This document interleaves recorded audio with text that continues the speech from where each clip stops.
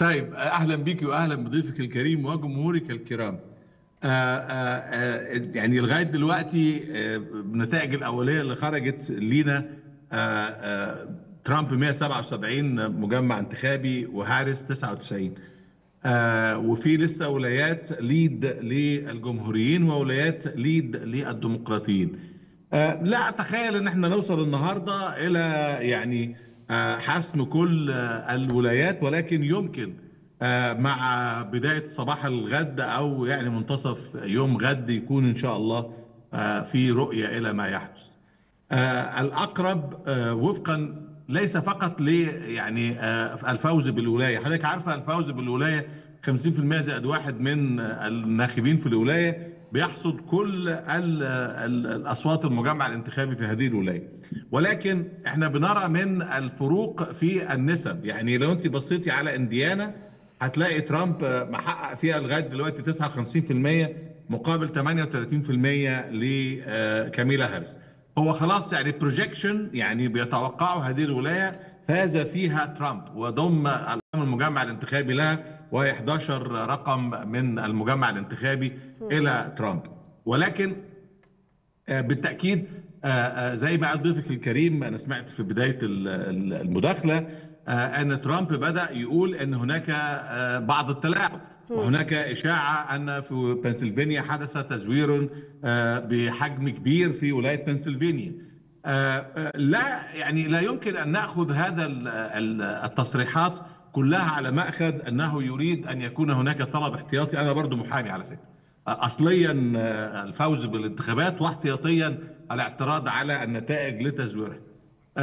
في التصويت المبكر اللي فيه 80 مليون أمريكي صوتوا بالتصويت المبكر وبالبريد هناك حالات تم رصدها في أجهزة يعني التصويت الإلكتروني عندما تستطيعي أن تضغطي على أي اختيار ياخدك إلى كاميلا هاريس فنفس الموضوع اللي حصل في 2020 وكان محل يعني اعتراض قانوني من ترامب ولكن المحكمة بالتأكيد لم ترى الأدلة كافية ل يعني الحكم بتزوير الانتخابات أو اتخاذ إجراء فيها. ولكن خليني أفكرك في ولاية بنسلفانيا.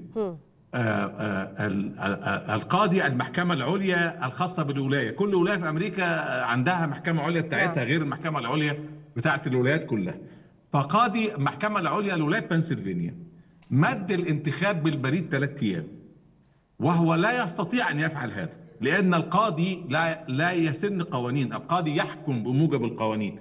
من له الحق في سن القوانين في الولاية هو مجلس تشريع الولاية. هنا أخطأ القاضي. وعندما أحس بالخطأ أصدر يعني حكم تكميلي وقال عليكم أن تحتفظوا بكل البطاقات التي سوف تأتي بالبريد على حدة. عملوا إيه؟ حطوا كله في بعض. لم يستطيعوا التفرقة بين هذه البطاقات وهذه البطاقات. فهذا الخطأ يعني وفقا للقانون في حد ذاته يبطل انتخابات ولاية بنسلفانيا.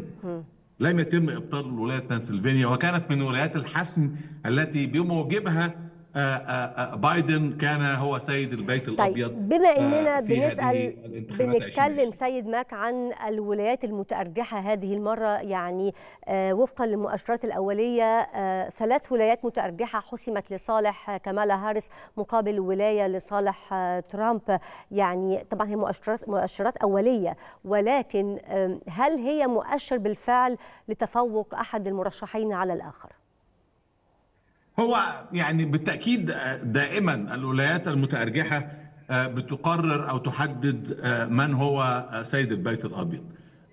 وزادت هذه الولايات يعني أريزونا كانت إلى يعني فترة قريبة جدا قبل ما يتوفى جون ماكين العضو الجمهوري السيناتور الجمهوري في هذه الولاية كانت يعني تصوت إلى الجمهوريين اصبحت يعني محل خلاف في الانتخابات الأخيرة في انتخابات 2020 فيمكن أن يكون يعني بعضد من كلامك وبؤكد عليه بالتأكيد يمكن أن تكون هي الحسم ولكن لا يمكن التكهن بما سوف تنتهي عليه العملية الانتخابية قبل ما نصل إلى على الأقل 90% من الأصوات. لغاية دلوقتي طيب. آه لم نصل إلى هذا الرقم وفقا لوجهة نظر حضرتك نقاط القوة التي يتمتع بها دونالد ترامب في مقابل كاميلا هاريس للتاثير في هذه الولايات المترجحه هو يعني نقط نقاط القوة أن ترامب بيخاطب الطبقة المتوسطة وبيخاطب البلو كولر يعني أصحاب الإيقات الزرقاء العمال. آه لفرض يعني لفتح المجال إلى وظائف جديدة آه إلى آه يعني النزول بنسب التضخم إلى معدلاتها الطبيعية في الولايات المتحدة الأمريكية وهي في حدود ال 2% إحنا قدرنا نوصل ل 3% دلوقتي ولكن كنا قد وصلنا ل 9.7 من عشرة في التضخم.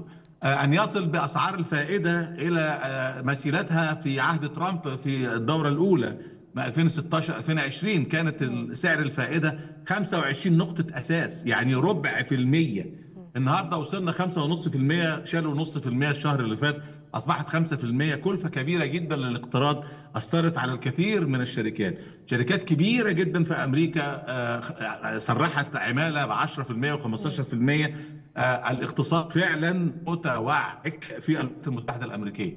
آه أنا حطيت بنزين في حقبه ترامب 2016 ل 2020 بدولار 75 سنت الجالون في في, في عربيتي، النهارده أقل سعر بنزين ب 3 دولار 80 سنت 4 دولار آه للجالون. في يعني زيادة الطاقة زادت بقدر كبير جدا، أسعار السلع زادت بشكل كبير جدا. حماية الولايات المتحدة الأمريكية ملف مهم جدا من الداخل.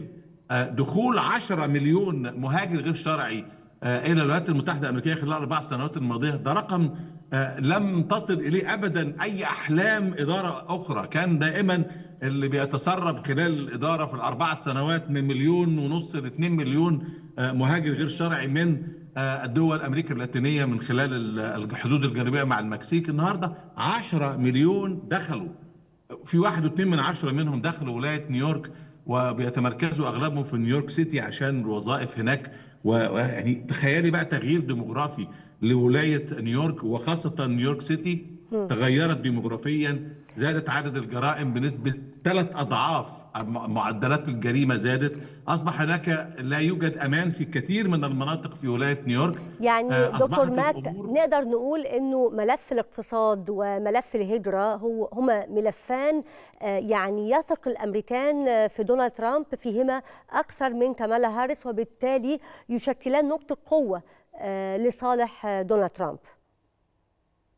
بالتأكيد بالإضافة إليهم طبعا آآ آآ يعني الضمان الاجتماعي واعاده الولايات المتحدة الأمريكية إلى الاتفاقات الجيدة لصالح الصانع والزارع الأمريكي زي ما خرج من نافتا وعمل اتفاقية جديدة بينه وبين المكسيك وبين كندا وزي ما خرج من التي بي بي مع 11 دولة شرق من شرق آسيا وليست لصالح الزارع والصانع الأمريكي زي ما خرج من اتفاقية المناخ التي لم يحترمها الصين الصين وهي على فكرة بين قوسين كده دولة نامية. تخيل الصين تاني أكبر اقتصاد في العالم يعني مسماة دولة نامية.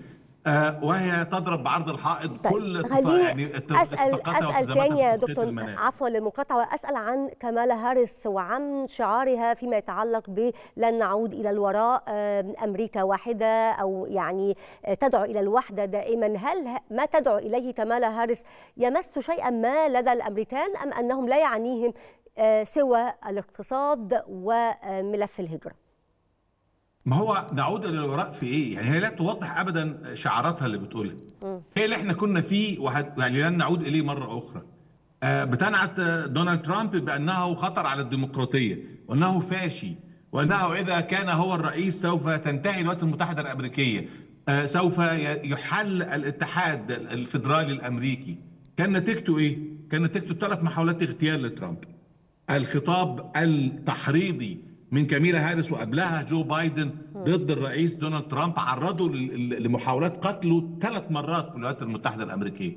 أعتقد يعني لا توجد خطة واضحة لكاميلا هاريس عندما تقول سوف أقدم لكم بعد ما أمسك رئيس، طب يعني سؤال إحنا هنجيبك رئيس على أساس إيه؟ انت لم تكوني يعني عضو في مجلس الشيوخ الامريكي طيب. لك دكتور دكتور وجولات كنت هذا فاشلة كنائب رئيس ماذا سوف يعطيك كرامات أن تكوني نعم. رئيس ولكن جيد. التقارب الشديد جدا في استطلاعات الرأي ما بين المرشحين ألا يدل على يعني عدم قدرة أي منهما على حسم أي ملف لصالحه ما هي يا سيدتي العزيزة الولايات المتحدة الأمريكية فيها 186 مليون مخاطب بالانتخاب في الولايات المتحدة الأمريكية مقيد. منهم 45 مليون مقيدين ديمقراطي و36 مليون مقيدين جمهوري و32 مليون مسجلين كمستقلين أو بدون انتماء حزبي. فكان الحزب الديمقراطي ناقم على جو بايدن وكان 80% من الحزب غير موافق عليه. أما جت كاميلا هاريس أخذت كل يعني المتاح للحزب الديمقراطي باعتبارها هي الحصان الأسود هي التي سوف تنقذ الحزب الديمقراطي في اللحظات الأخيرة. ولكن ما هو برنامجها؟ برنامجها نسخة من برنامج جو بايدن. تحاول جاهدة إنها تناء بنفسها عن جو بايدن ولكن فشلت في هذا الأمر. يعني الديمقراطيين النهارده إذا عاقبوها عقابيا يا إما هينتخبوا ترامب أو هيمتنعوا عن التصويت. تخيل النهارده أنا في ولاية نيويورك شايلين جيل ستاين المرشحه المستقلة من ال ballots أنا وأنا وأنا بنتخب النهارده في ولاية نيويورك لم تكن موجودة المرشحه المستقلة في بطاقة الانتخاب. نعم. في في, في ولاية نيويورك. أشكرك جزيل الشكر دكتور ماك شرقاوي على هذه المداخلة القيمة. أذكر أنوه مرة أخرى أنك عضو في الحزب الجمهوري وعذرا لهذا الخطأ غير المقصود. دكتور مات شرقاوي عضو الحزب الجمهوري كان معنا عبر زوم من نيويورك.